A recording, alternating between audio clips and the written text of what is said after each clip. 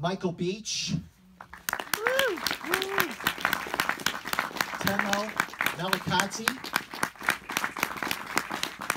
Khandi Alexander.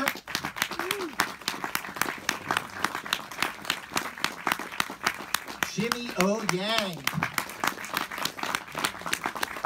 Michelle Monaghan. Mark Wahlberg. And director Peter Berg.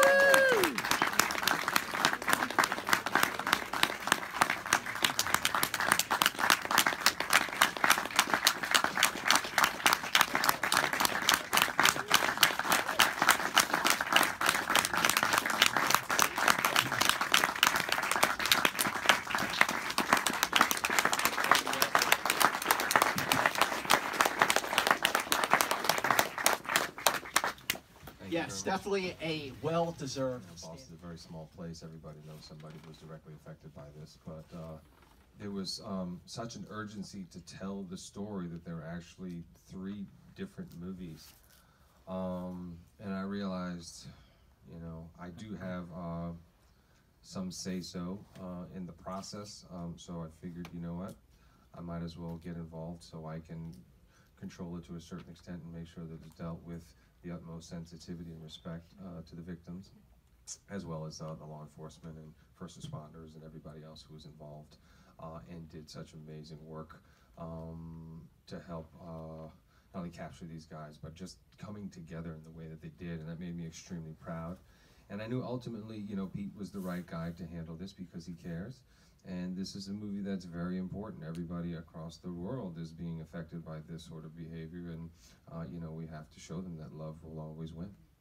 You know, Michelle, I want to ask you about the, the responsibility of playing not just a real person, but a real person who lived through these events.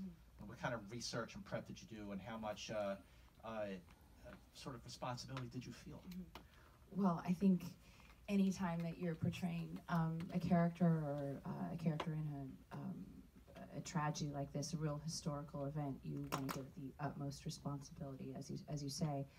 You know, when I'd um, read the script initially, I was really um, just taken by the series of untold stories that I hadn't been privy to. You know, I think, you know, when you when something like this happens, you sort of just hear kind of what what the news tells you essentially, and you don't really hear the firsthand accounts.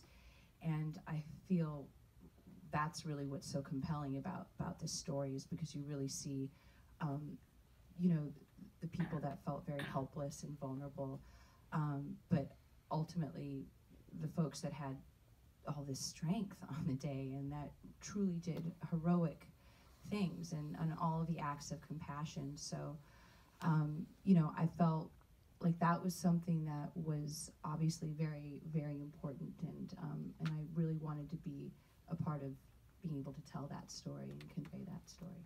Know, Michael, I want to I want to take that that question uh, a next step for you, playing the governor, to you know someone who you know is not just someone who was affected by this, someone who was calling the shots, catching up with everything that was going on in that day as it happened. It was unprecedented. These events uh, in Boston, um, you know, just the, the bigger challenge for you there, and and the admiration you've had for the governor. Um, well, for me, it was obviously I didn't know him prior to this, and I actually met him halfway through filming for me. and he, um, I mean, can you imagine being the guy that has to make the decision, um, obviously with the um, input of all these other people that really are the experts at what they do, to to be able to say, okay, this is the path we have to take. We have to shut the city down, and we have to do it not just for the people of Boston, but also potentially for the people of New York and who knows where else. And when I spoke to him about it, he, you know, he did, you know, obviously he let me know that it, it's one of the biggest decisions he's ever made in his life. Wow. And um, and the weight of it and uh, the possible backlash of it, but the but the the most important thing was the safety of of the citizens of um, of Boston and, and the surrounding areas. So it was, uh, yeah, it was a really great conversation I had with him.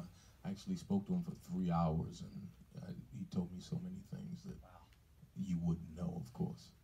You know, I want to give a, a, a big shout out and a round of applause for Jimmy O. Yang.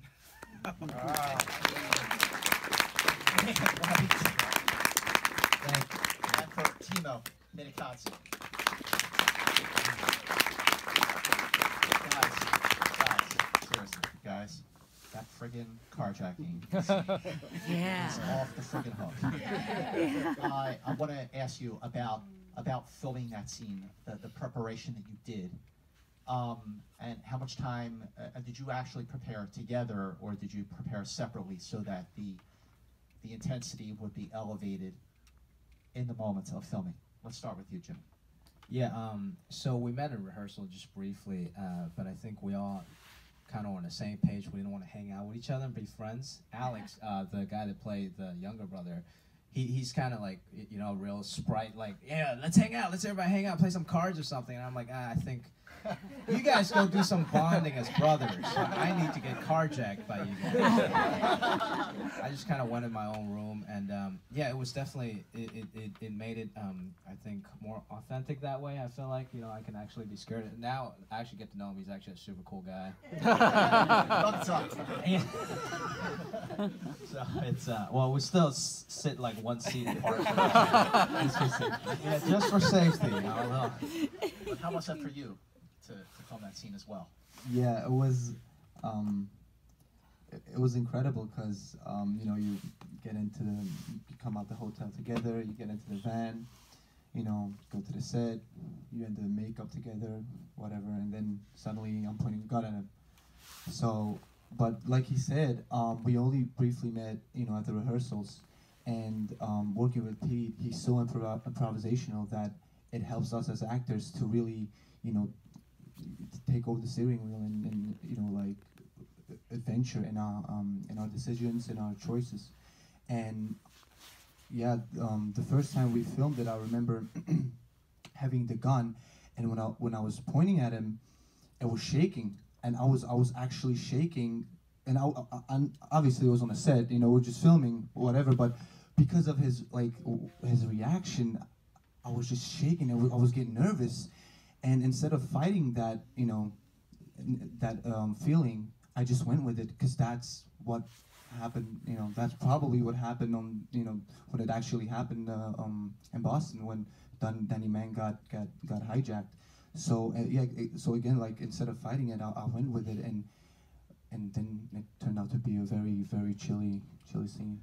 Question: Do you think if Don had not escaped, that they would have killed him?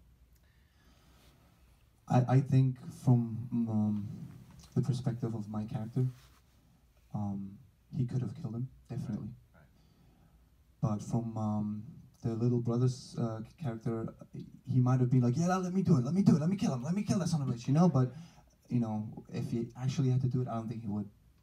Yeah, uh, when I was talking to Danny, he actually said in the back of his mind, he, he was he had an image of them shooting him like off of a cliff.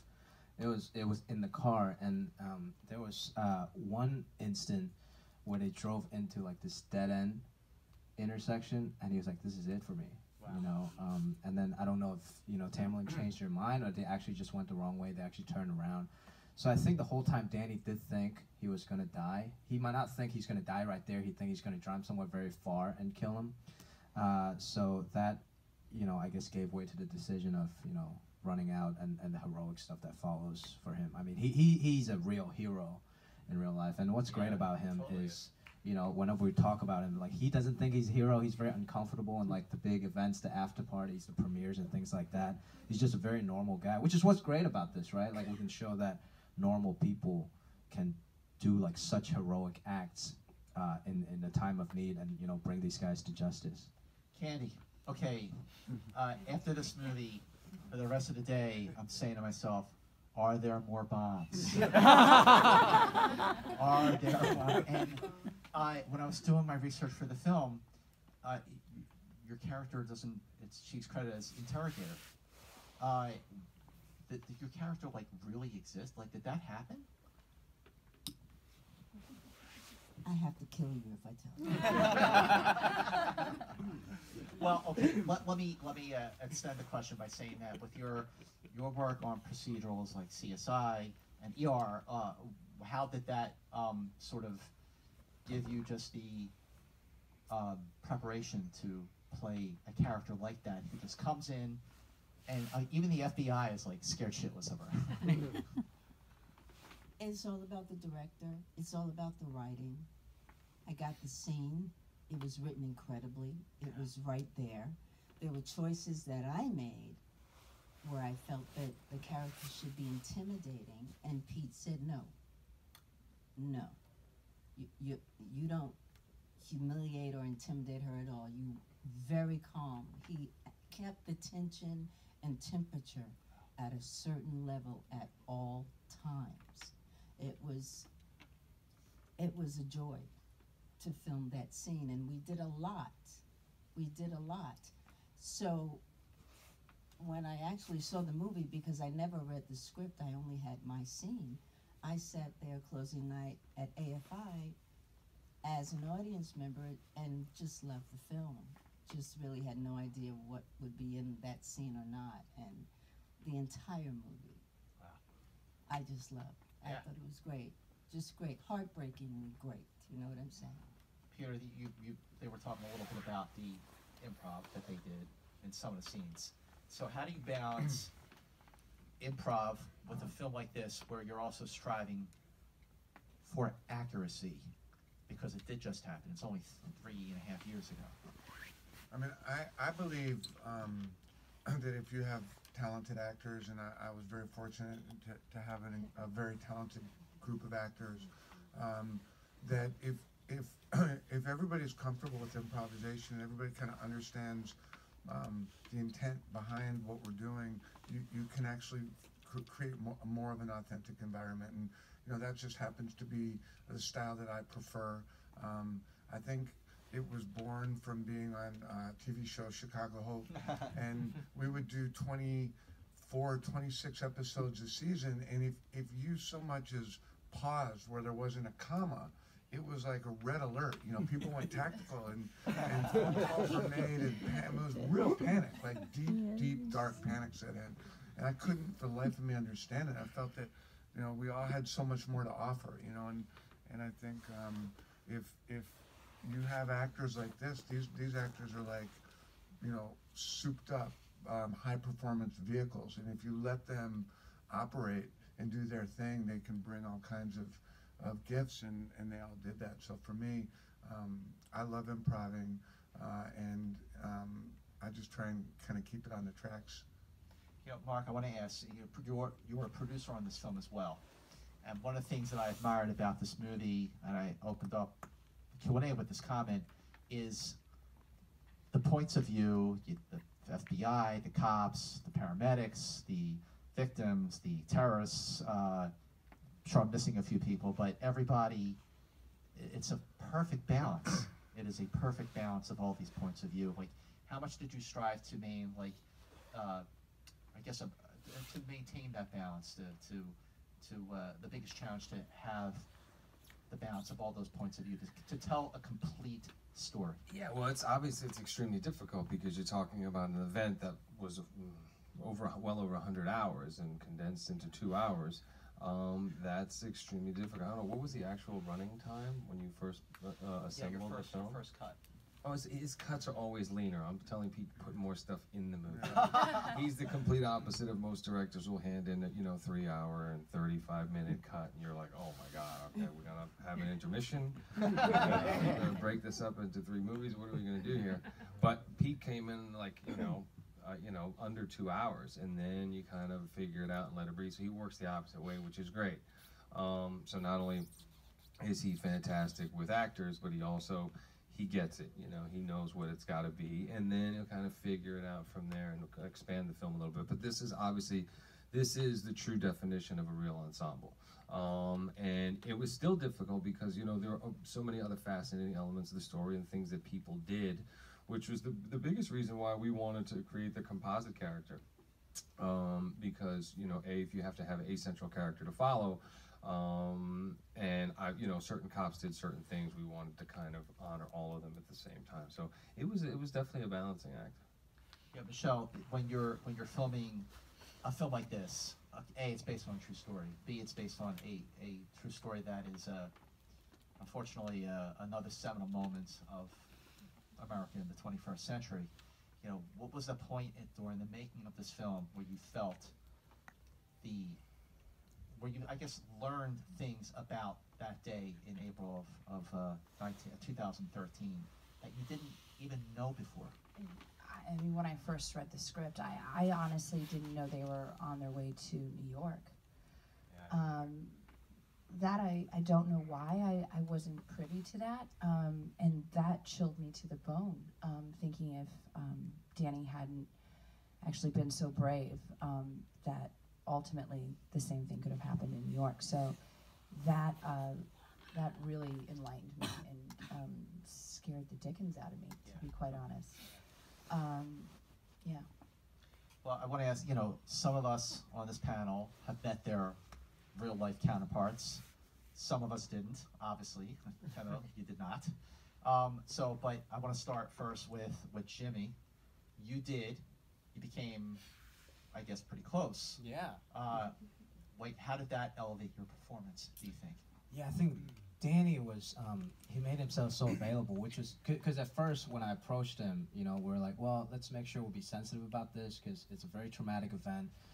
Maybe he doesn't want to talk about it in that much detail, but when I met him, we just kind of hit it off. You know, we're around the same age, we're both immigrants, and um, we're, we're both Chinese, uh, and you know, he he, he he's uh, he's actually an app startup guy. Like he actually makes the app, and, and you know, I do. Uh, I, I, I play an actor that makes apps in Silicon Valley, so I think that something with that.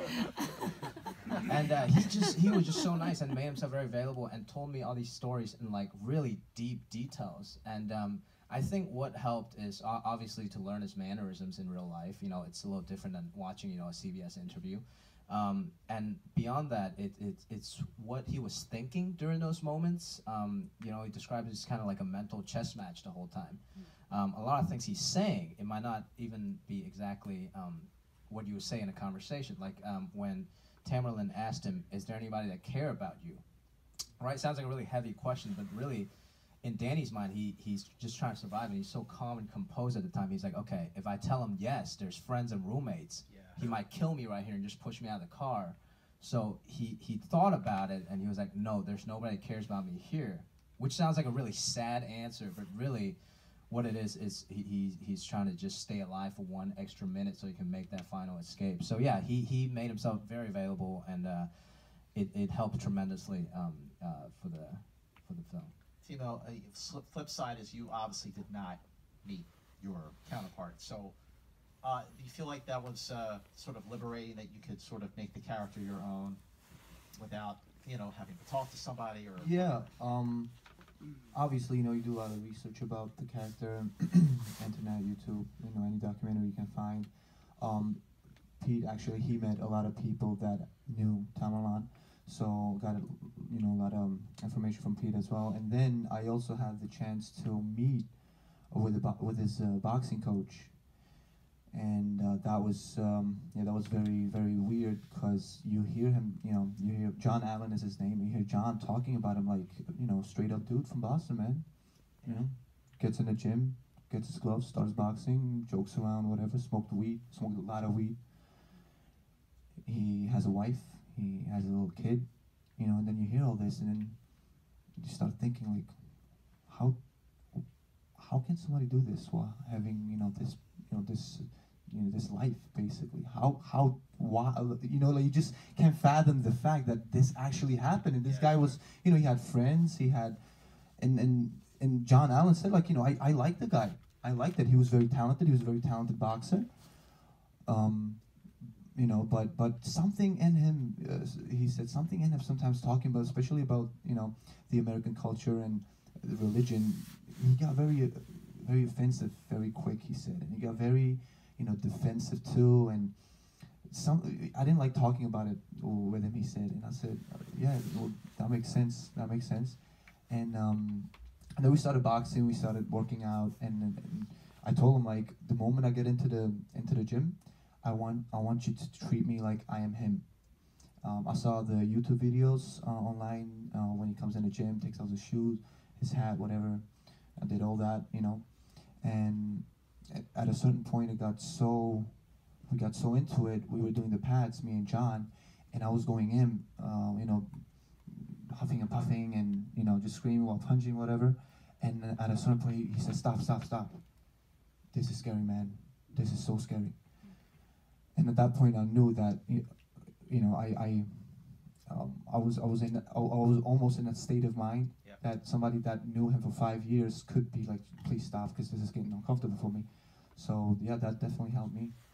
Khandi, uh, you know, you're, you're talking about the wife, okay? I did not realize that was Melissa Benoist. Yes, I yes. Didn't even recognize Lovely. her. Uh, and she Lovely, was lovely. fantastic. Yes. What was like filming that scene with her? Because everyone's, I think, kind of knows her right now as Supergirl. uh, but what was like filming that scene with her? We did the same thing. We didn't really communicate until it was over. After it was over, and then we saw each other at the hotel. Mhm. Then we were actually able to smile at each other and Yeah. acknowledge each other. But there was a consultant on set that helped provide all of the energy, and she was a lovely actress. Lovely. Lovely. How many days did you shoot this movie? Um, not that many, right? We shot it pretty quickly. Forty, early, forty-five, thank you, forty-five. We Comes shoot, we shoot, we shoot pretty quickly. We Yeah. shoot, we, we don't, we like to get in and get out, and not waste a lot of time. What scene was the most challenging for you to film? In 45 days, by the way. I mean, they're they're all they're all kind of challenging, and, and, and I find that every every time you think something is gonna um, um, is is going to be problematic, it isn't. One of the challenges with this film was if you if you look at it and you divorce yourself from the reality and the horror of the the, the, the realness of this story, the problem from a script standpoint um, you guys are all writers and actors, right? So if you think about the, the climax of the film isn't the end of the film, right? So the climax of the film is, um, uh, a, you know, gunfight in Watertown, Connecticut. Was a big gunfight, but then basically you have the city getting shut down, and you've got an extraordinary law enforcement res- response surrounding, you know, an 18-year-old kid who's shot in a boat. So it's not there was never really any mystery that he was going to come out of that boat. so it was kind of figuring out how we we take the audience through the last 15 minutes of the film, and that included uh, you know Big Poppy and. Um, you know, Mark was very helpful in getting Big Poppy to come and do that shot for us, um, which was really awesome. I mean, he's just such an incredible guy, and his story was remarkable. But figuring out how to kind of keep the, the emotional momentum up um, after that Watertown gunfight was probably the biggest structural challenge that, that I think we all, me and, and my team of editors and stuff faced.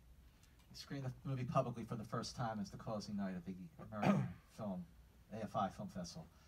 So a lot of people in the film, depicted in the film, are there. What what did they think?